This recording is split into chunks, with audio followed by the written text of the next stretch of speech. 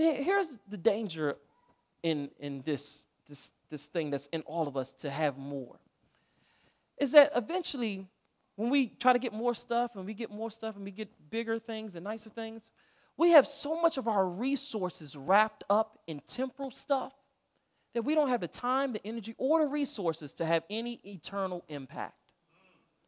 Our temporal bank accounts are extremely loaded, but our eternal bank accounts are weak, overdraft. Because we're wrapping so much of our resources in the things that just pass away. And at some point, we need to get to a point where we say, you know what? Enough is enough. Where I have enough stuff.